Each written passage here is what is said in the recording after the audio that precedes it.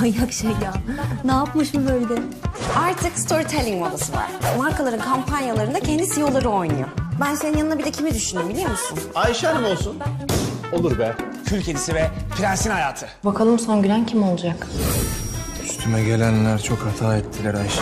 Üstüme gelme benim. Ben o kızlardan değilim. Bunu er ya da geç anlayacaksın. Çok iyi çıkış yakaladık Muhsin amca. Hatta Ayker fan club bile kurmuşlar. Bu masal daha yeni başlıyor. Afili Aşk yeni bölümüyle çarşamba akşamı Kanal D'de. Yarın da bayram kocacığım. Öpersin kocanın elini.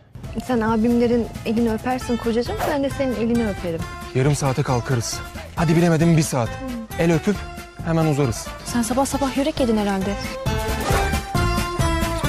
Bebek mi o? Volkan saçmalama o kadar da değil. Bakın şimdi ne okuyacağım. Kerem Ayşe'yi ne zaman öpecek?